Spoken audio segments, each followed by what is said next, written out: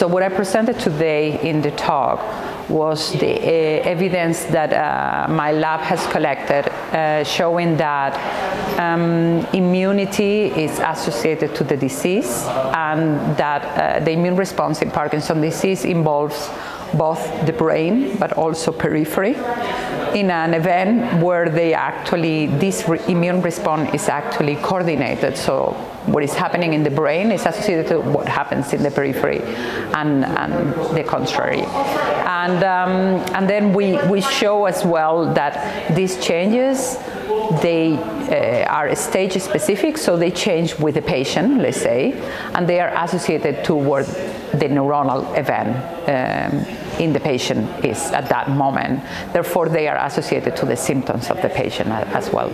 I believe actually that inflammation is one of the factors that can drive uh, neurodegeneration. Uh, it is still unclear if it is at the onset of the disease, if in what we call sporadic Parkinson disease, the immune system is the cause of the disease it's not really known.